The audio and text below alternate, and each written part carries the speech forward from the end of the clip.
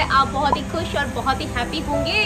तो लीजिए दोस्तों, नए वीडियो के साथ आप सबके सामने फिर से तैयार हूँ बातें करने के लिए। तो दोस्तों, मैं आज आपके लिए कहानी लेकर आई हूँ। और कहानी, दोस्तों, मुझे पता है कहानियाँ एक इतना इम्पोर्टेंट रोल प्ले करती है। उनसे बहुत सारी लर्निंग हमें मिलती है, बहुत सारी चीज़ें ऐसे हैं जो हम लोग सीखते हैं, दोस्तों, बिल्कुल। क्योंकि कहानी एक ऐसा माध्यम है जो हमें काफ़ी कुछ सिखा देती है। दोस्तों, इसके लिए मुझे आप सबका बहुत ही प्यारा प्यारा प्यारा रिस्पॉन्स मिलता है, दोस्तों। थैंक यू सो मच ढेर सारा प्यार देने के लिए, दोस्तों। आप सबका प्यार ही है जो मुझे इतनी हिम्मत मेरे अंदर बनाए रखता है, दोस्तों।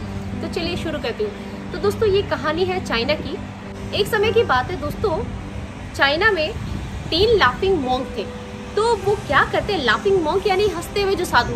तो वो क्या करते? किसी भी पहले गाँव में जाते और जाके वहाँ खड़े होके ना मतलब वो बिल्कुल गोल मटोल थे। बिल्कुल सर पे बाल नहीं और गोल मटोल और अपने एक पोटली सी कंधे पे उनको झुला के उसी फंसते रहते थे। हाँ मुझे पता है, आपको याद आ गया होगा। हम सब देखते हैं ना छोटे छोटे लाफिंग बुद्धा जी, उनकी ही स्टोरी है। तो दोस्तों, वो क्या करते? वो किसी भी गाँव में जाते और जाके सिर्फ़ हंसना स्टार्ट कर देते। एक हंस रहा है, दूसरा हंस रहा है, तीनों हँसते। तो पहले तो लोग सोचते कि कुछ हुआ होगा, आपस में हंस रहे होंगे, चलो कोई बात नहीं। लेकिन वो कंटिन्यू हँसते रहते तब लोगों लोगों ने पूछा कि हुआ क्या, क्यों हंस रहे तो वो कुछ जवाब नहीं देते, सिर्फ़ हँसते। उनकी हँसी देख के लोग सोचते कैसे है यार, हंस रहे हैं लोग? अजीब है। वो हँसते, उसको देखकर दूसरा, तीसरा, चौथा मतलब ऐसे थोड़ी देर बाद में जितनी भीड़ आसपास खड़ी रहती, सारे लोग हंसने लग जाते बेफालतू में, बेमतलब में, ऐ वही हंस रहे हंस रहे। ओके दोस्तों, उसके बाद में क्या हुआ? धीरे धीरे ना दोस्तों वो पूरे गाँव में ऐसे फैल गए, पूरे गाँव में जाते, जहाँ जहाँ जाते हँसते। तो लोगों में ये चीज़ प्रचलित हो गई कि ये तीन लाफिंग बुद्ध है मतलब तीन लाफिंग है ये बुढ़े, यानी आते हैं और सिर्फ़ हँसते हैं। और वो जैसे पूरा गाँव जो हँसी में जब डूब जाता तो वो उस गाँव को छोड़ के फिर दूसरे गाँव में चले जाते। और वहाँ जाकर भी वही काम करते मतलब बोलते एक एक शब्द भी नहीं, कुछ नहीं बोलते, सिर्फ़ जाते और हँसते, सिर्फ़ जाते और हँसते।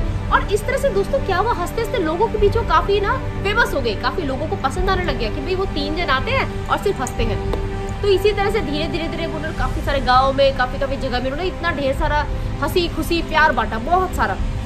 लोगों को काफ़ी पसंद करने लगे। धीरे धीरे पूरी चाइना में उनकी ख्याति व्याप्त हो गई। सारे लोग उनके बारे में बातें करने लगे कि अरे, तीन बहुत ही लाफिंग मोंक है, वो हँसते रहते, सिर्फ़ हँसते रहते, खुश होते रहते। तो दोस्तों, वो अपना यही काम करते, कभी उन्होंने बातें नहीं करी, सारी ज़िंदगी यूँ ही चीज़ें करते। तो दोस्तों, समय बीतता चला गया और एक दिन ऐसा आया क्योंकि बूढ़े हो रहे थे, धीरे धीरे तो उनमें से दोस्तों उनका जो एक साथी था ना, एक रात ना वो नहीं रहा। और वो दोनों अकेले पड़ गए और वो नहीं रहा दोस्तों।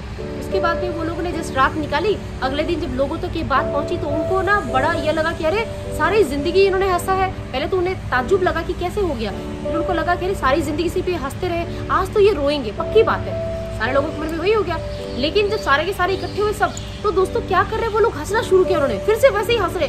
और एक अलग ही हँसी थी उनकी, बहुत जोरों जोरों से, बहुत जोरों जोरों से। तो उनको, कुछ लोगों को तो बड़ा दुख हुआ कि शायद ये दुखी हो गए, इनका दिमाग थोड़ा ऐसा हो गया, इनका साथी इनके बीच नहीं रहा।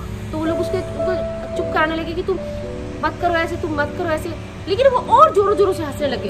तो उनमें से कुछ ने सोचा, कैसे पागल है ये लोग? इनका साथी नहीं रहा। और और ये दोनों के दोनों से हंसे जा रहे हैं। ऐसे हंसे जा रहे हैं। तो दोस्तों, उस दिन पहली बार, उस दिन पहली बार ना, उन दोनों ने ना मुँह से कुछ बोला। उन्होंने कहा कि, देखो, ज़िंदगी क्या है? ज़िंदगी हंसने गाने के लिए सिर्फ़ सिर्फ़ हंसो हंसो हंसो।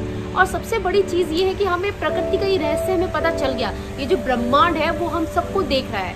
वो किस तरह से हम चीज़ें कर रहे हैं, वो हर चीज़ें हमें देख रहा है। तो कुछ नहीं है, सब चीज़ें खत्म हो जाने यहाँ रहना कुछ भी नहीं तो सबको जाना है। लेकिन हम तीनों में ये था कि हम तीनों में से पहले कौन जाएगा? लेकिन उसने पहले बाजी मार ली, वो पहले चला गया। तो उसकी इस चीज़ को देख के हम हंस रहे कि वो हमसे पहले जीत गया। दोस्तों, जो साथी उनका चला गया था, उसकी पॉकेट में एक पर्ची निकली और उसमें लिखा हुआ था, नहीं मुझे नहलाया जाए, नहीं मुझे शुद्ध किया जाए क्योंकि मैंने कुछ ऐसा किया ही नहीं। मैं बहुत ही ज़्यादा शुद्ध हूँ, मैंने सारी ज़िंदगी से फंसने का काम किया अपने मन में मैंने कोई कुटेल करी पहाड़ा मैंने कभी लेकर ही नहीं है। तो मैं शुद्ध हूँ। मुझे कोई नई कपड़े देने की ज़रूरत नहीं, मुझे नहलाने की ज़रूरत नहीं, मैं ऐसे भी शुद्ध हूँ। तो उन लोगों ने वैसा ही किया, उसको ऐसे ही उन्होंने कहा कि, चलो मुझे ऐसे अग्नि के हवाले कर देना। उसको वैसे ही कर दिया। लेकिन जैसे ही अग्नि के हवाले किया उसने अपनी पॉकेट में कुछ पटाखे रखे हुए थे। जोरदार पटाखों की आवाज़ के साथ पूरे आसमान में रंग बिरंगी आतिशबाजी होने लगी।